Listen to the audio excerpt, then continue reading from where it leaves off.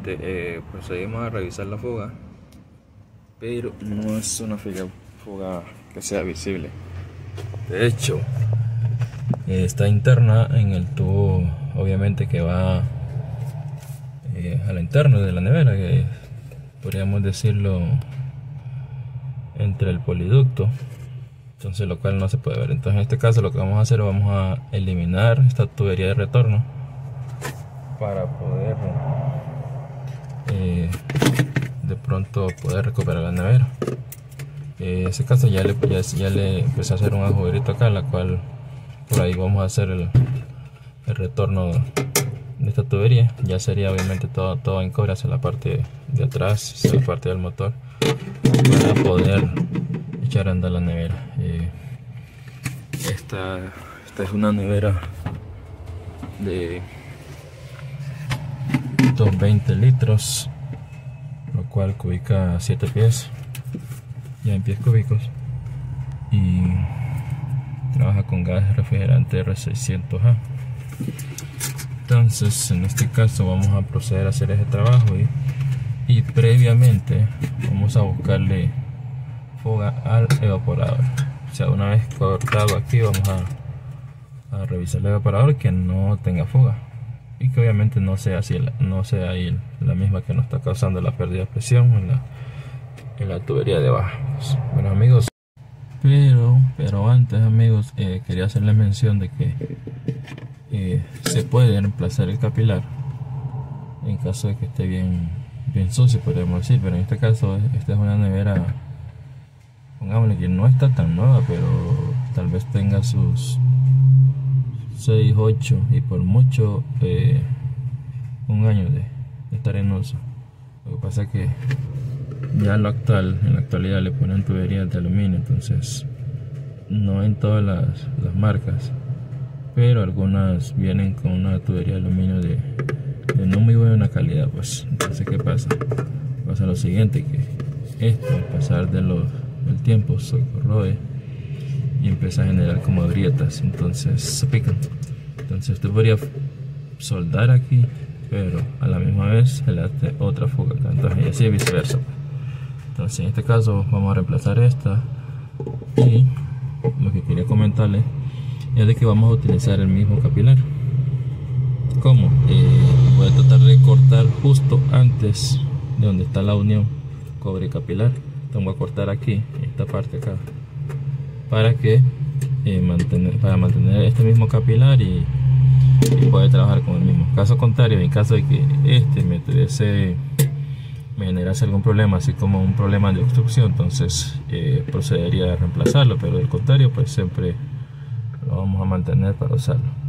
Únicamente eliminaríamos esta parte acá que es la, la tubería de retorno.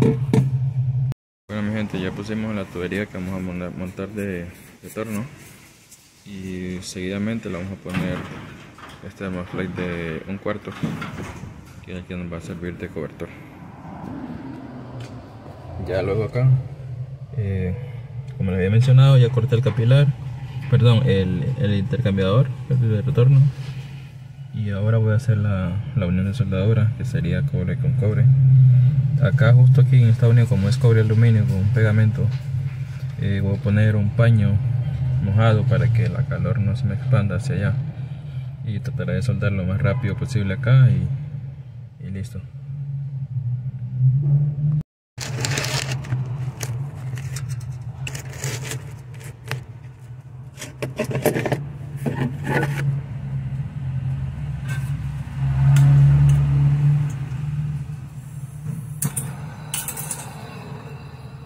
Bueno amigos, eh, justo ahí voy a soldar la unión cobre con cobre. Trataré de hacerlo lo más breve para que no, no se me expanda la calor de la de cobre, de aluminio.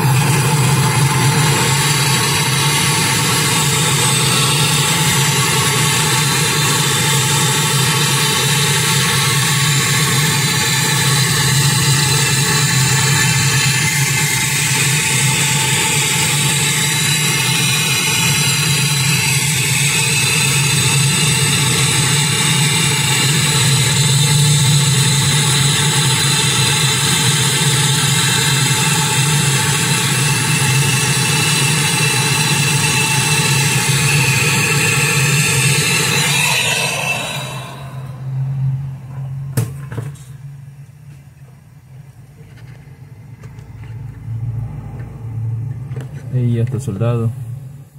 Entonces aquí le echo agua la, al, al trapo para que me vaya enfriando la tubería de cobre y aluminio.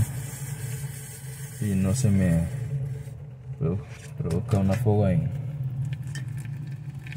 justo en la en la unión de, de cobre y aluminio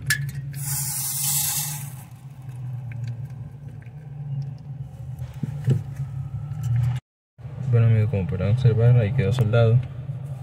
De pronto no tan bonita la soldadura pero lo importante era no quemar la estética en la parte de arriba. Ah, y quemé el trapo porque no tenía un buen ángulo para soldar pero el trapo lo tomé ya quedó soldado y esto quedaría así. Esto así ya está bien acomodado así sale hacia la parte externa y vamos a ver cómo queda en la parte externa. Bueno amigos de la parte externa así va a quedar. Hacia la parte de abajo. Y justo acá en la parte de adentro. El Armaflex lo hice que llegara hasta acá un poquito para que me quede como poliducto o un aislante térmico para que no me pierda la, la temperatura pues. Y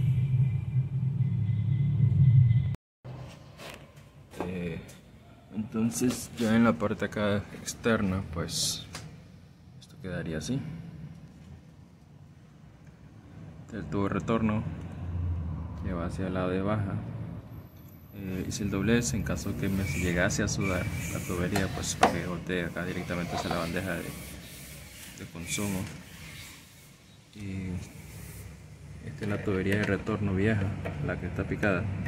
Entonces obviamente queda eliminada ya el, filtro iría acá lo voy a unir con el capilar con el mismo capilar que habíamos dicho que íbamos a mantener en la nevera pues sería unido por acá. Luego seguido de la válvula de servicio que para ya proceder a cargar y, y listo pues. Eh, ahorita sueldo y todo eso y luego miramos la carga. Y antes de todo esto amigos me falta comentarle que este capilar lo solté, lo acabo de soltar esa tubería, entonces lo voy a enrollar en esta para que de pronto me baje la temperatura en caso de que llegase a pasar todavía con un poco de temperatura caliente pues.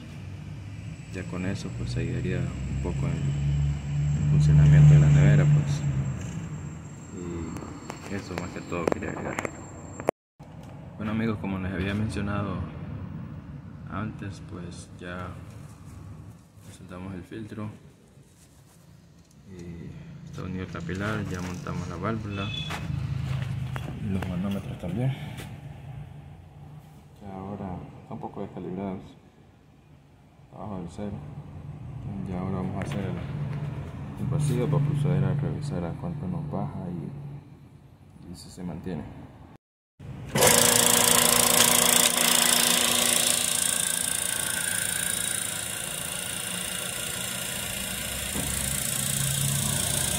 Está viendo cómo va bajando, pues vamos a darle unos 20 minutos como mínimo.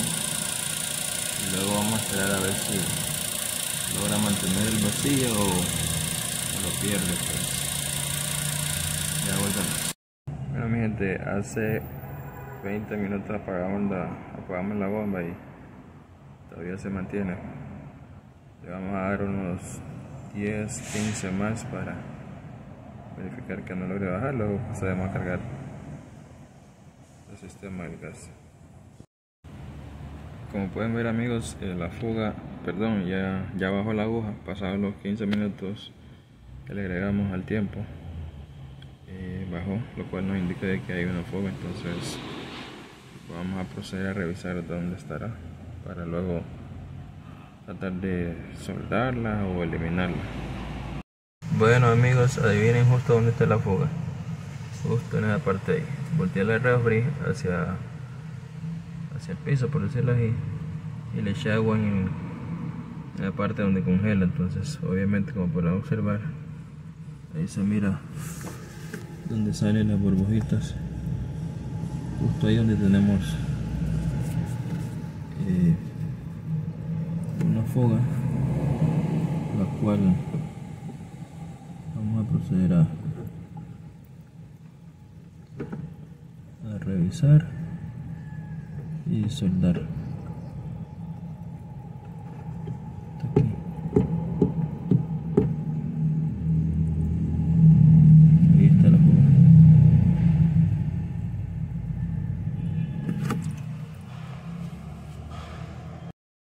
Bueno amigos, ahí está la foga. Justo en el evaporador, en la de aluminio, mira. Tuve que voltear el evaporador, perdón, la refri. Y meterle presión de gas, de presión de nitrógeno al sistema y echarle agua acá para poder visualizar esta fuga ya que con espuma no me la mostraba porque tenía unas láminas de esas que van así a lo, a lo contrario del tubo, lo cual imposibilitaba ver la burbuja. Amigos, ya se soldó la fuga, gracias a Dios todo resultó bien. Yo debo reconocer de que me equivoqué. ¿En qué punto? Porque pensé que era en el intercambiador, lo cual eliminamos. Esa es una. Pero viéndolo de otro punto de vista, pues eh, ustedes fijan, la, la tubería de aluminio está a punto de. No es que está a punto, está como. Ha cambiado ese tono de. de que se mira así como que en buen estado a estar como queriéndose a, a picar, por decirlo. Entonces, este intercambiador nuevo que le puse de cobre, pues le cae súper bien, ya que eso va a evitar que se pique la tubería interna, ya que el, cobre, por ser un material más, más, robusto, más diferente y de calidad más durable, pues aguantaría mucho mejor. La única desventaja que de pronto para el usuario, eh, un costo adicional en cuestión de materiales, pero, en cuestión de, durabilidad, en el sentido de que le dura un poquito más, pues eh, bastante beneficioso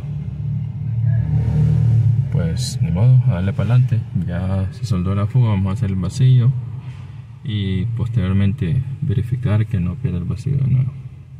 Y ahora una vez que soldamos el evaporador, pues hacer vacío de nuevo y volver a verificar que no, que no vuelva a bajar. Bueno amigos, eh, ya pasamos 20 minutos de hacer vacío ya apagamos la bomba entonces ahora toca darle unos 30 minutos para ver si se mantiene la se mantiene el vacío. Bueno como podemos observar ya pasaron 40 minutos de hecho y ya gracias a Dios pues se mantuvo la presión lo cual que nos indica de que no hay ningún eh, ninguna fuga. Entonces ahora vamos a proceder a romper el mismo para luego cargar de gas. Obviamente con gas posar un poco para luego bueno ya ya montamos el gas pues ya hicimos el la porga siempre hay que hacer purga antes de cargar el gas entonces vamos a romper el vacío.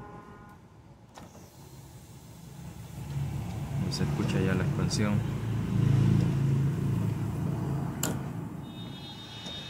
obviamente el gas que está cayendo hacia el sistema en forma gaseosa.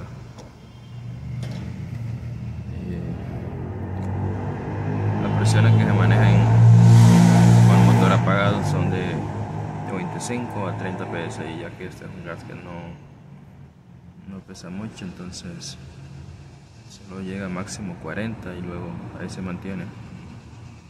Ya con el motor operando pues se mantienen a, 12 y 10, 10, de vacío 10 de mercurio. Eh, siempre por lo general le doy un minuto para que se esparza el gas por todo el sistema. Entonces ya ahorita voy a conectar la, la nevera, la red eléctrica para luego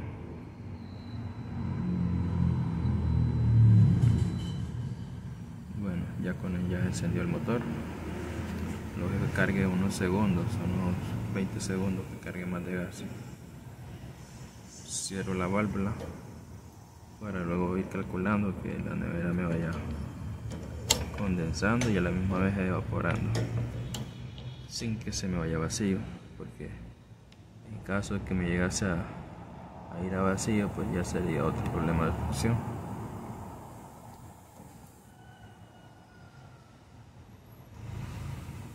ahí trato de mantenerla ahí. Luego vamos a verificar la parte de ahí dentro del evaporador. Que esté evaporando obviamente. Y haciendo la expansión del gas como podrán observar. De hecho se está haciendo porque está agarrando escarcha ya. Eso blanco que se mira pues es escarcha y ese sonidito es la expansión del gas eh, que ejerce cuando deja el capilar y entra al, al evaporador justo en ese punto aquí.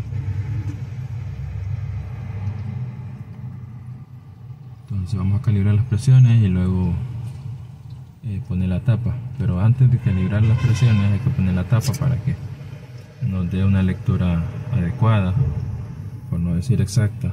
Porque si ponemos la eh, si calibramos primero y después ponemos la, la, tapa porque en este caso la tapa la ventiladora viene en la tapadera de la nevera entonces si ponemos la tapa ya al final nos va a alterar las presiones. Como lo mencionaba esta es la tapadera y acá va la ventiladora. Entonces esto acá ahí en la esquina esa se conecta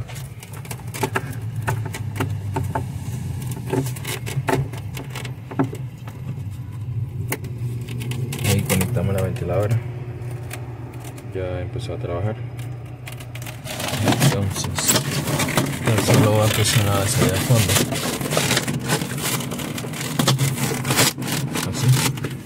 Y así queda. Entonces ahora toca revisar las presiones. Para calibrar y que queden estables proceder a, a cargar la nevera con un botecito con agua para para ver en cuánto tiempo lo congela y qué tan duro lo deja pues. Bueno mi gente eh, procedemos con la carga.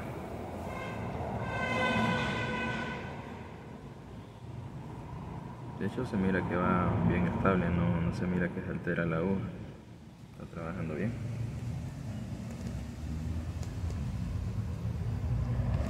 el amperaje de consumo de esta nevera es de bueno ya con ese motor de un octavo de 0.4 0.5 ya que el ser un motor de R600 y con el gas eh, que por ende trabaja en vacío pues la, ya la nevera no consume mucha, mucha corriente entonces mantenemos ahí unos 20 minutos a manera que se mantenga estable la presión y estamos en, observación.